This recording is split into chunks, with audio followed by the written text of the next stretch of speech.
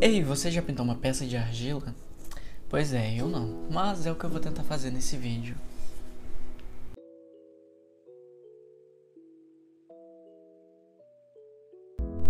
E aí galera, voltei e dessa vez eu já tô no segundo período e eu estou tendo uma matéria que é muito legal, que é a matéria de tridimensionalidade. Tridimensionalidade envolve tudo que é tridimensional. E no começo das aulas, uma das coisas que a gente usou foi a argila. E aí, em uma dessas aulas, eu fiz esse cachorrinho. É um cachorro. É porque algumas pessoas falaram que parecia um porco, mas não é um porco, é um cachorro. E aí, o primeiro passo, né? A primeira coisa que a gente faz é ir lá moldar ele com a argila. A gente espera secar. E aí, como a professora gostou, ela quis fazer a queima dele. E aí, quando realiza essa primeira queima, ele fica só como biscoito ainda. Isso aqui não é cerâmica, tá como biscoito. Para virar cerâmica, vocês passam o esmalte, né, e tal. E aí você faz mais uma queima, que é numa temperatura muito mais alta. E aí ele vira aquelas peças assim brilhantes e tal. Mas como eu não vou poder fazer essa segunda queima, eu decidi que eu vou pintar ele para não ficar parecendo um porco. então, como eu falei, vou usar tintas acrílicas. Vamos ver se vai dar certo. Eu acho que não vai ter problema.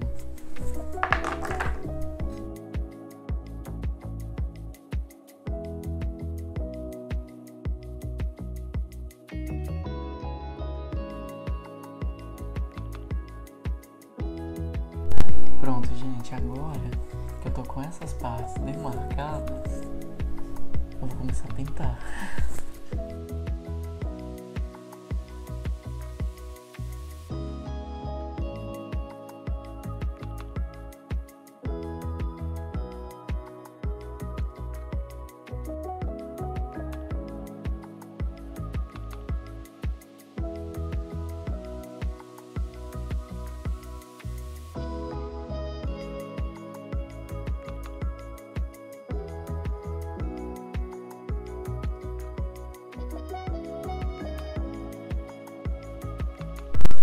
Então, pessoal, por enquanto ele está assim, bem inacabado.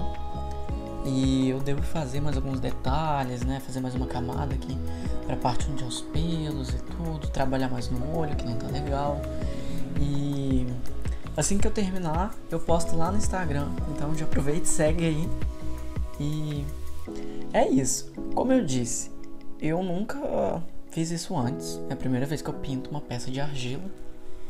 E eu acho que não tem problema pintar ela com a tinta acrílica, porque a tinta acrílica ela é feita de polímero plástico. Nossa Deus, a língua não tá ajudando, né? Mas a tinta acrílica ela é feita de polímero plástico, então ela só vai criar essa camada aqui meio que impermeável assim em volta dela.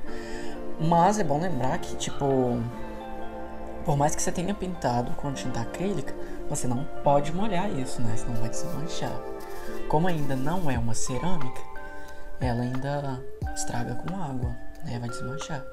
Então, se você fizer alguma coisa assim parecida em casa, é, tentar não colocar em um lugar que vai molhar, alguma coisa assim. Mas é isso, eu acho que vale a experiência, é uma forma de pintura também, né? Uma pintura 3D, assim. E. Ai, ah, é bem legal. Eu gostei de fazer. E é isso, pessoal. Até o próximo vídeo.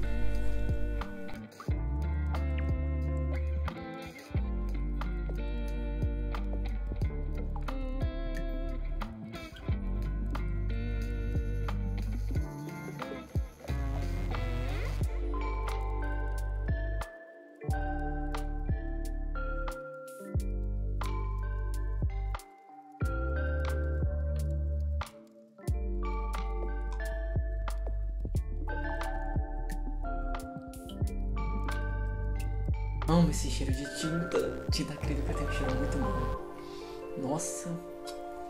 Enfim, é isso. Uma carinha de cachorro.